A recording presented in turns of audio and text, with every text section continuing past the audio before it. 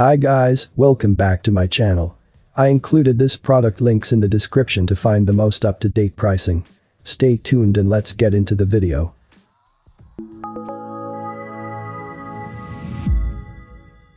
Timber Ridge Director's Chair. This is the director's style option that is great for those who would like to have a side table and a cup holder with one of the best outdoor folding chairs available. It works well for camping trips and can be used for many other activities as such. The foldable side table offers a way to keep small items by your side while lounging and comes with a cup holder on the far end so that you can also have some drink near you. The chair's frame is built from aluminum and is durable enough for heavy use. The seat is made from polyester material that is rip resistant and doesn't add a lot of weight to the chair. This folding chair is easy to carry as it doesn't add weight to your backpack when traveling a long way to a campsite. I have included this product link in the description. You can check out this link for more information and latest price. Thank you for watching this video.